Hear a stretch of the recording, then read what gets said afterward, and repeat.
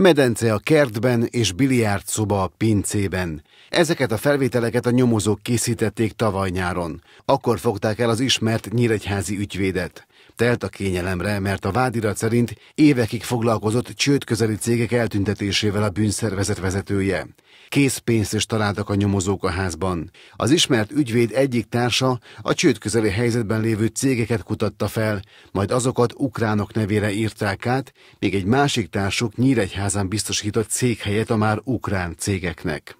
Az ukrán eh, elkövetők, tehát akik a nevükre vették ezeket a e, cégeket, pár ezer forintot kaptak alkalmanként az aláírásukért, de olyan is előfordult, hogy az ügyvéd megtévesztette őket, azt állította, hogy az általuk aláírt papírok révén Magyarországon végezhetnek munkát. Természetesen ilyenről szó sem volt. Az ügyvéd a magyar eladóktól legalább 500 ezer forintot kért minden egyes cég ilyen módon való eltüntetéséért. Ezeket a fotókat az ügyészség készítette. 40 ezer oldalnyi nyomozati irat készült az ügyben. A vádirat szerint 49 cég került így ukránok nevére. Hat közülük több 10 milliós vagyonnal rendelkezett. Mivel a vádirat szerint bűnszervezetben követték el a bűncselekményeket, duplázódik a büntetési tétel, így akár 10 évig is börtönben maradhat az ismert nyíregyházi ügyvéd.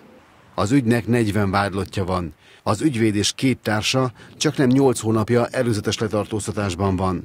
Azt még nem tudni, hogy a bírósági eljárás mikor kezdődik.